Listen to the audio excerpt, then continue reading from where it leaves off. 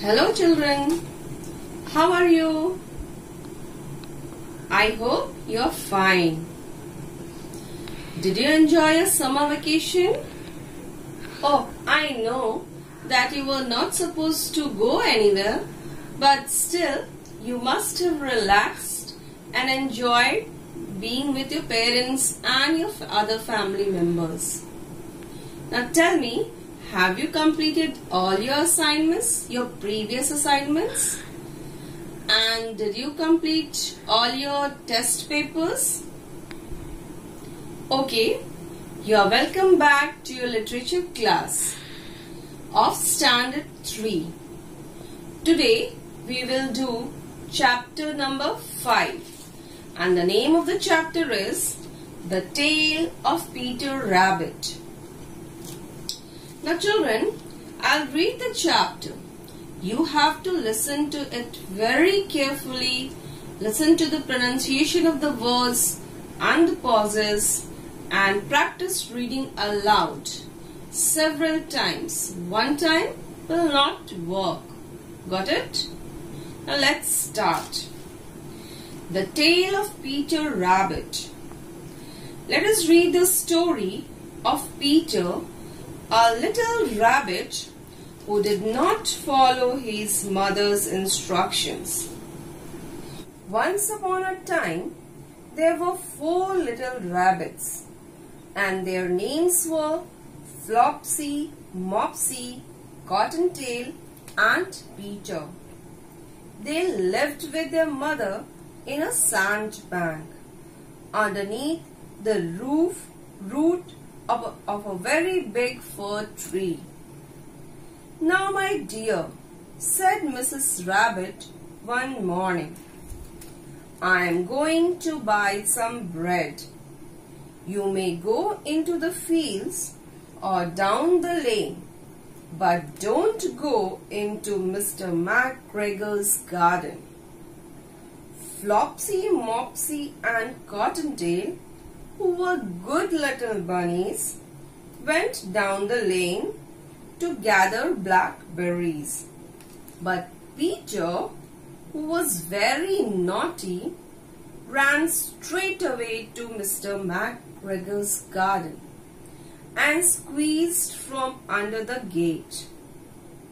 First, he ate some lettuce and some French beans and then he ate some radishes.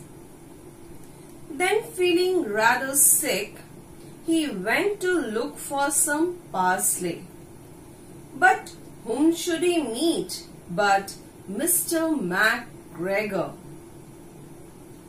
Mr. McGregor, who was on his hands and knees planting cabbages, but he jumped up and ran after Peter, waving a rag and calling out, Stop, thief! Peter was most dreadfully frightened. He rushed all over the garden, for he had forgotten the way back to the gate. Unfortunately, he ran into a gooseberry net and got caught by large buttons on his blue jacket. Mr. McGregor came up with a sieve, which he intended to pop upon the top of Peter. But Peter wriggled out just in time. He rushed into the tool shed and jumped into a can. It would have been a beautiful thing to hide in had it not had so much of water in it. Mr. McGregor was quite sure that Peter was somewhere in the tool shed, perhaps hidden underneath a flower pot.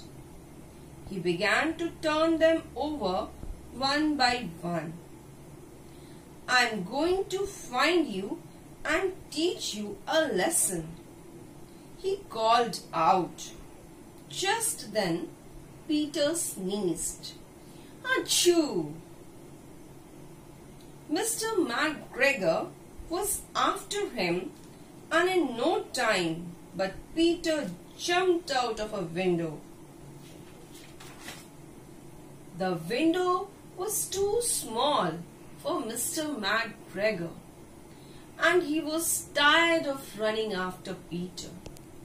He went back to his work. Peter never stopped running or looking behind him till he got home.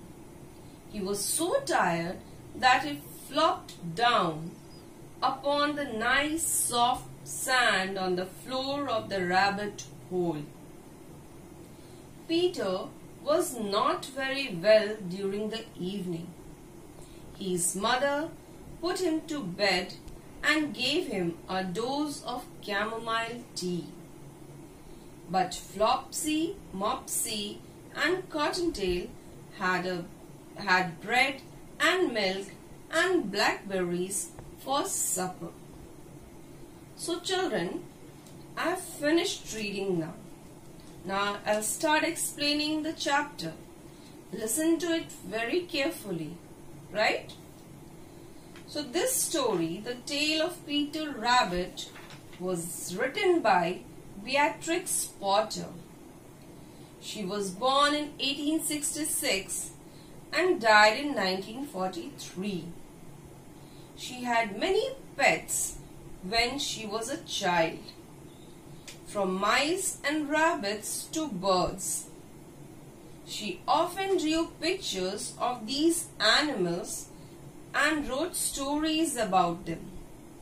That means she first used to draw pictures of her pet animals and on the basis of those pictures she used to invent, she used to make up her own new stories with her own imagination. Okay? So, she used to draw pictures and write stories about them. She first wrote the tale of Peter Rabbit as a picture letter to little boy she knew who had been ill for a long time. So this story, the tale of Peter Rabbit, was written by her for a little boy whom she knew and who had been ill for a long time. Okay. So now come to page number 62. At the top of this page, you can see that there are few blanks. Now let's see what are these meant for. What are some of the safety rules that you learn at home and at school? List any three of them. So here children, you have to write three safety rules that you have learned at school uh, and at home. Okay? So two of them are already written. Number one is do not talk to strangers.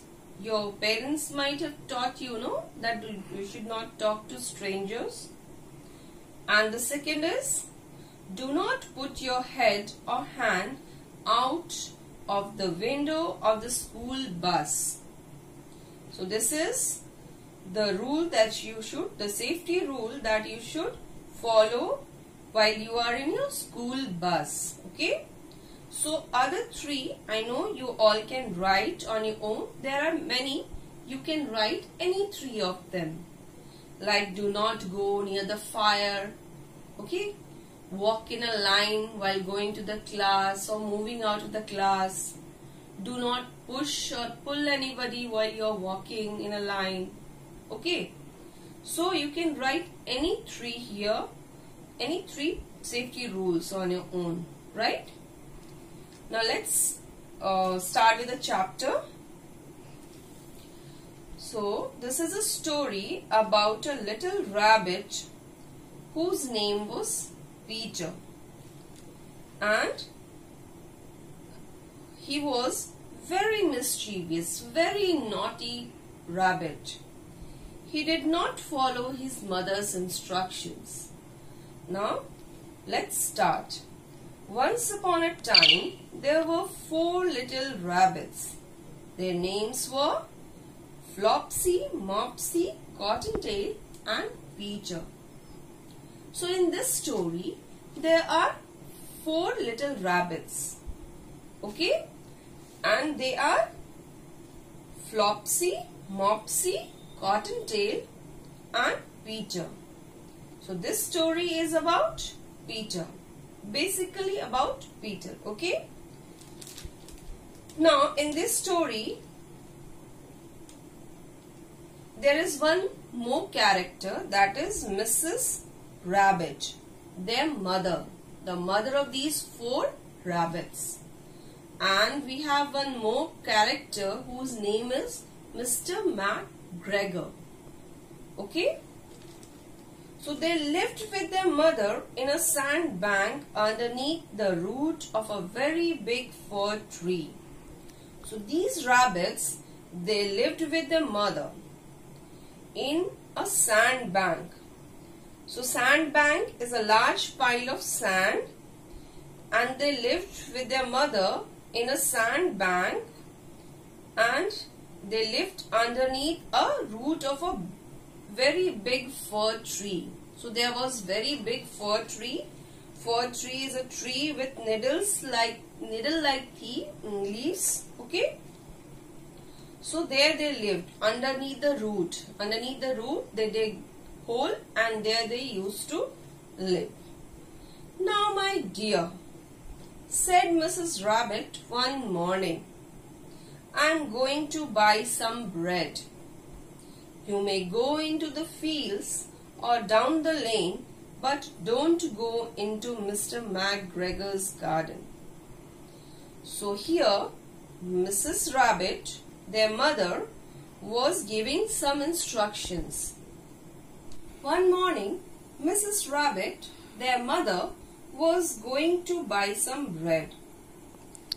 And she told her children, she instructed her children that they can go to the fields or down the lane, but not to go to Mr. McGregor's garden because it was a very dangerous place.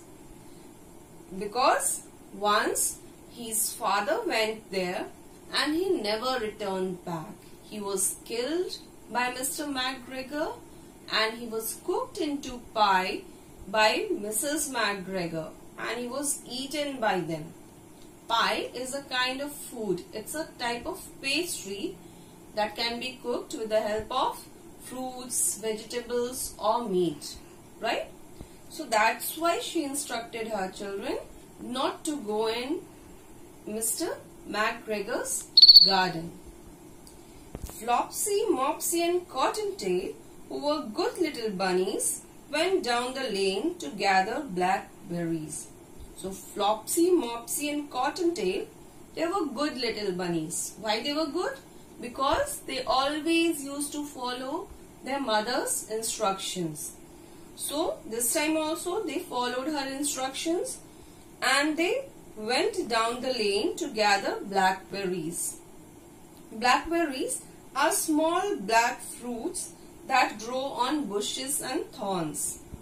Okay uh, there are bushes bushes with thorns they grow on such type of bushes there are small black fruits so they went down uh, the lane and to gather blackberries but peter was very naughty ran straight away to mr mcgregor's garden okay because he was very naughty and he never followed his mother's instructions right that's why this time also he did the same mistake. He did not follow his mother's instruction and ran straight away to Mr. McGregor's garden and squeezed in from under the gate. So there was little space between the gate and the ground. From there he squeezed from under the gate into the garden. So children, today we will do till here in the next video, I'll explain the rest part of the story.